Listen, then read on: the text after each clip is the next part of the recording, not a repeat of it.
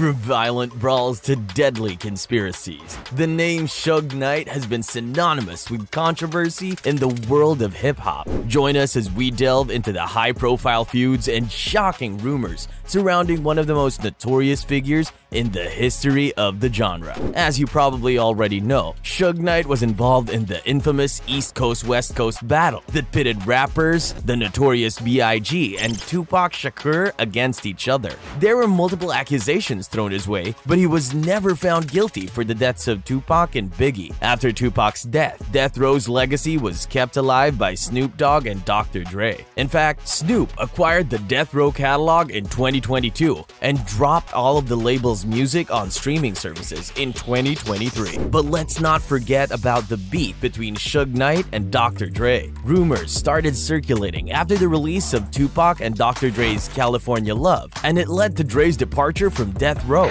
The drama affected not only the label but also overshadowed the music produced by these legendary artists. Suge Knight and Dr. Dre's beef has a long and complicated history, dating back to the early days of Death Row Records. In 1991, Suge Knight and Dr. Dre founded Death Row Records together, and the label quickly became one of the most successful and influential in hip-hop history. However, tensions between the two men began to simmer, and eventually boiled over in 1995 when Dr. Dre left the label to form his own imprint. Aftermath Entertainment. The split was not amicable, with both men airing their grievances in the media and through diss tracks. Dr. Dre accused Suge Knight of being a bully and a thug and criticized his management style and business practices. Suge Knight, on the other hand, accused Dr. Dre of disloyalty and betrayal and claimed that he had not fulfilled his contractual obligations to Death Row Records. The beef between Suge Knight and Dr. Dre continued to escalate, with both men taking shots at each other in their music and in interviews. In 1996, the feud reached a boiling point when Suge Knight and his associates allegedly assaulted Dr. Dre at the Source Awards. This incident left Dr. Dre with a broken rib and a black eye and cemented the animosity between the two men. Over the years, Suge Knight and Dr. Dre have continued to trade jabs and insults, with Suge Knight even releasing diss tracks aimed at his former partner.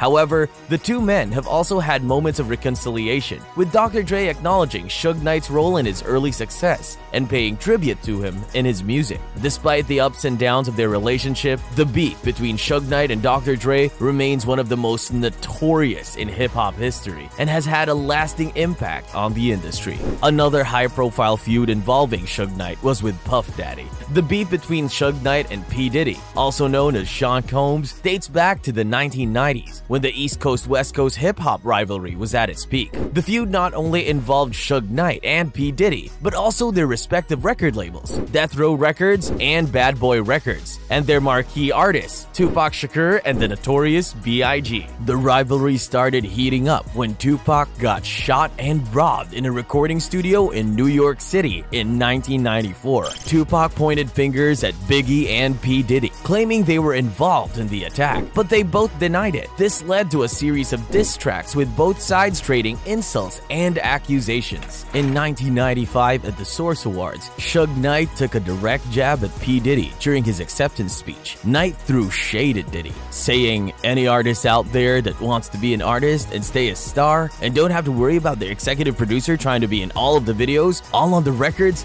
dancing, come to death row. That comment was a clear shot at Diddy, who always appeared in his artist music videos. The feud went next level when Tupac released the infamous diss track Hit 'em Up in 1996, targeting Biggie, P. Diddy, and other bad boy affiliates. The song contained explicit lyrics and made several allegations, including a claim that Tupac had slept with Biggie's wife, Faith Evans. Later that year, Tupac was fatally shot in a drive-by shooting in Las Vegas, fueling tensions between the two camps. In March 1997, Biggie was murdered in a similar drive-by shooting in Los Angeles. Many people speculated that Suge Knight was involved in both Tupac's and Biggie's deaths, but no concrete evidence has ever been produced to support these claims. The East Coast-West Coast rivalry eventually calmed down, and the beef between Suge Knight and P. Diddy also cooled off. Both parties focus on their respective careers and business ventures. However, the feud between these two hip hop moguls remains one of the most infamous chapters in the history of the genre, a symbol of a turbulent and dangerous era in hip hop that ultimately claimed the lives of two of its most talented artists. There was also a significant conflict between Suge Knight and Eazy-E.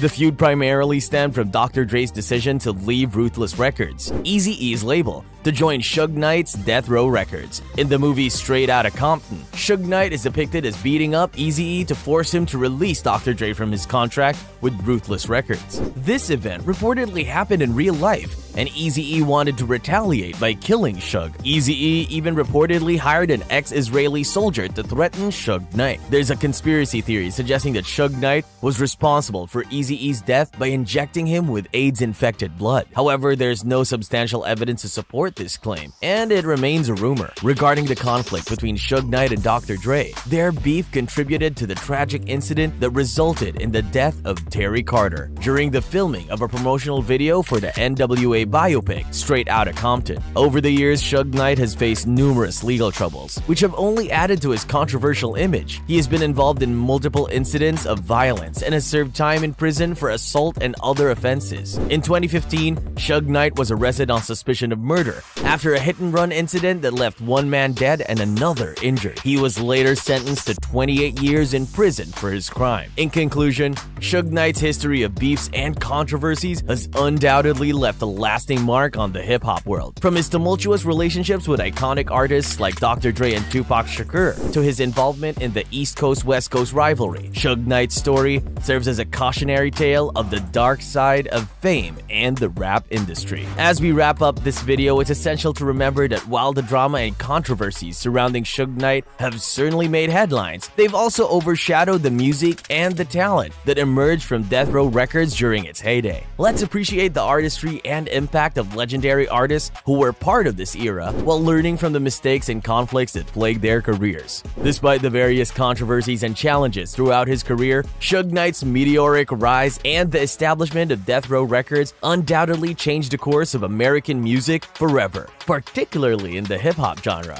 His story continues to captivate audiences, as evidenced by the upcoming TV series and numerous books written all about his life and the rise of Death Row Records. Thanks for joining us on this deep dive into the controversies and beef surrounding Suge Knight. If you enjoyed this video, don't forget to subscribe and give a thumbs up.